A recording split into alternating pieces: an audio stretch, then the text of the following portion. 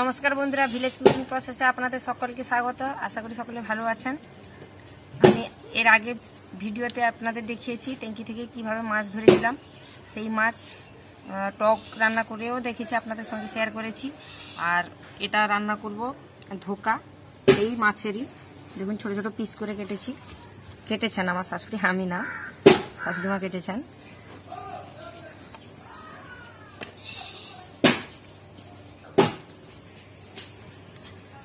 তাহলে ভিডিওটি না টেনে প্রথম থেকে শেষ পর্যন্ত দেখবেন। আর আপনারা আমাদের চ্যানেলটিকে সাবস্ক্রাইব করছেন না, লাইক, শেয়ার করছেন না, আপনারা দেখুন, আপনারা দেখলেই, সাবস্ক্রাইব করলেই আমাদের চ্যানেলটা সামনে এগিয়ে যাবে। আমরা উৎসাহিত হব নতুন কিছু আনার জন্য। আপনারা প্লিজ সাবস্ক্রাইব করুন চ্যানেলটিকে। শোল মাছের ধোকাটা রান্না করার জন্য আমি এইভাবে, আমি না, আমার শাশুড়ি মা এইভাবে কেটেছেন, দেখুন। শোল মাছগুলো আর আলুগুলো সেই মাছের মতন কাটা হয়েছে। এই মাছে এবার আমি নুন, লবণ আর হলুদ মাখিয়ে দেবো।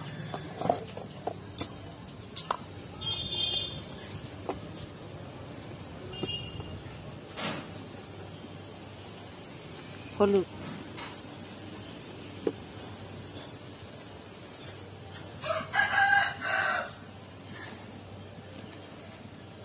তাড়াতাড়ি আলুটা ভাজার জন্য তাতেও হলুদ দিয়ে দিচ্ছি, অল্প করে।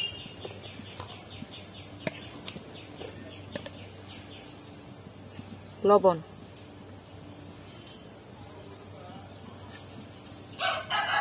আলুতেও দিয়ে দিচ্ছি।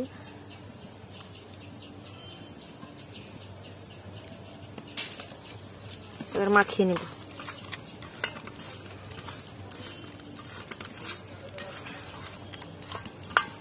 মাছের নুন আর হলুদটা ভালো করে মাখাবেন।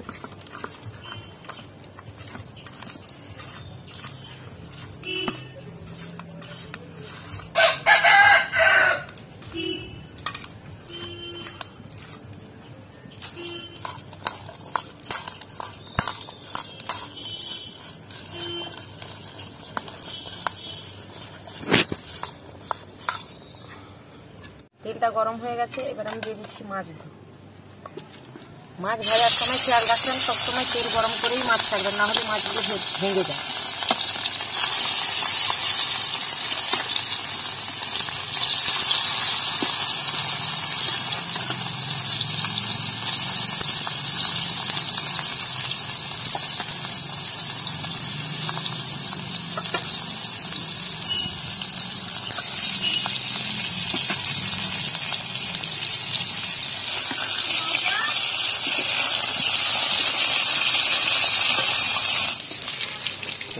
এই ধোকাটা যখন বাড়িতে ট্রাই করবেন, তখন সবসময় কিন্তু মাছগুলো ভালো করে ভেজে নেবেন।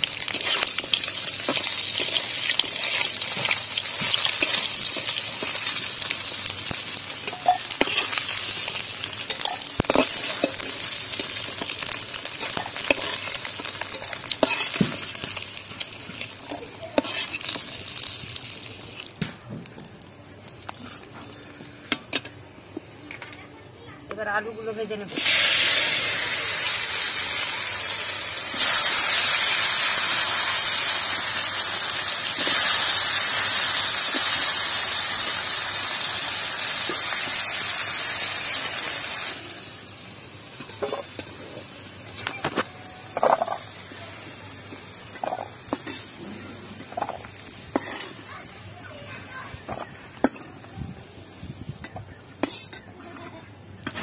দেখুন, আলুটাও লাল করে ভেজেছি আর মাছটাও খুব ভালো করে ভেজেছি।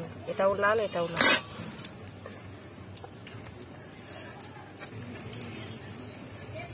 গোটা গরম মশলা দিয়ে দিচ্ছি। পেঁয়াজ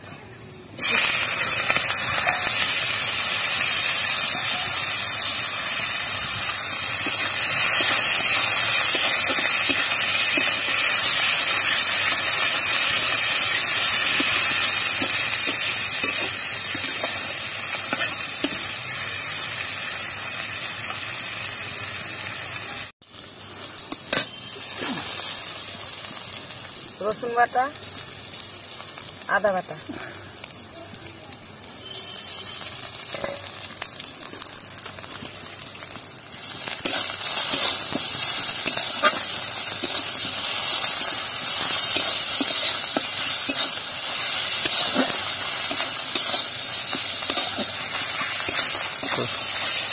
মশলাটা একটু তেল লাগবে মনে হয় সেখানে একটু উপর থেকে তেল দিচ্ছি।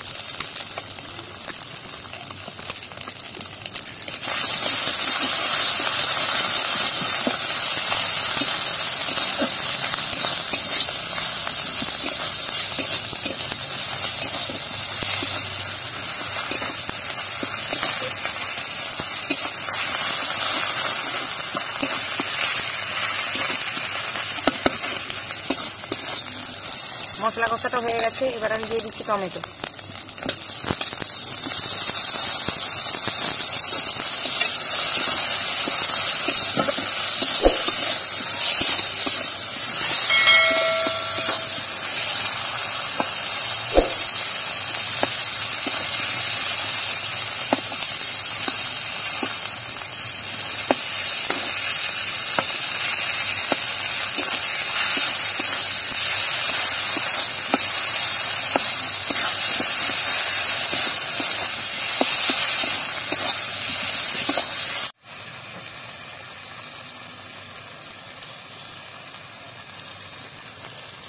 হলুদ গুঁড়ো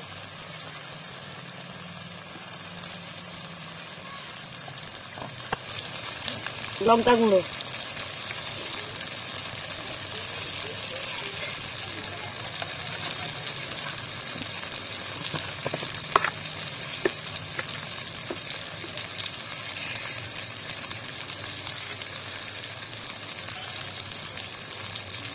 জিরে আর ধনে গুঁড়ো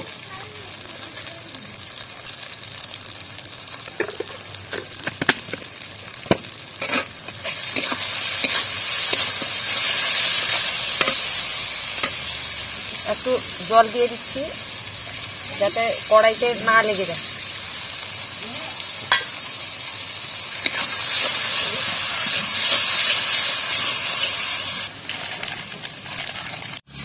মশলাটা হয়ে গেছে। এবার আমি দিয়ে দিচ্ছি আলু।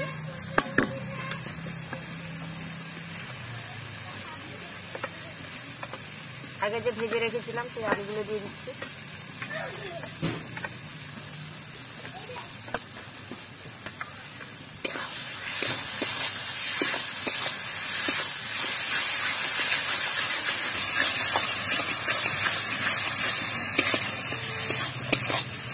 এবার আমি দিয়ে দিচ্ছি ভেজে রাখা মাছ। আজকে কি রান্না হচ্ছে?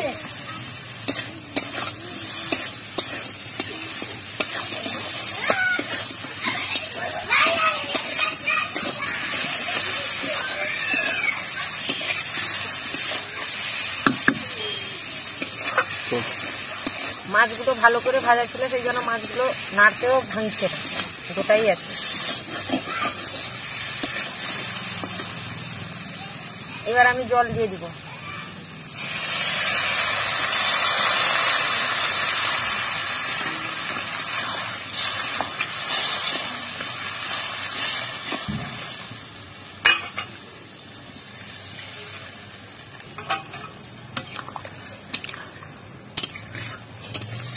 আমি অল্প করে জল দিলাম। তরকারিটা মাখা মাখা করব। আপনারা যদি বেশি ঝোল চান, তাহলে আর একটু জল দিবেন। এবার আমি স্বাদ বুঝে লবণটা দিয়ে দিচ্ছি।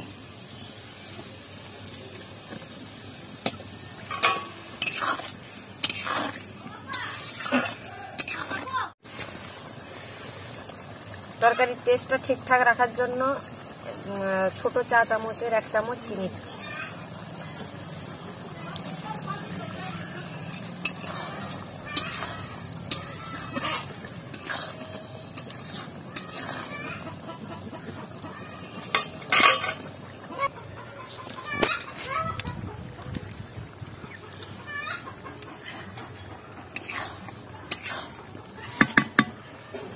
তাহলে হয়েছে। তরকারিটা হয়ে গেছে এবার আমি নামিয়ে নিব।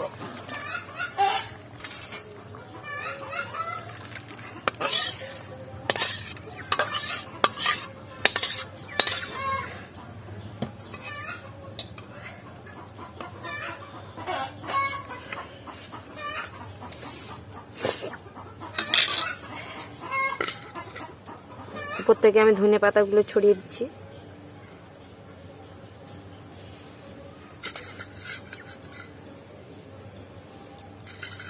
এই শোল মাছের ধোকাটা বাড়িতে ট্রাই করবেন, অবশ্যই ভালো লাগবে। গরম গরম ভাত বা রুটির সঙ্গে আপনাদের অবশ্যই ভালো লাগবে।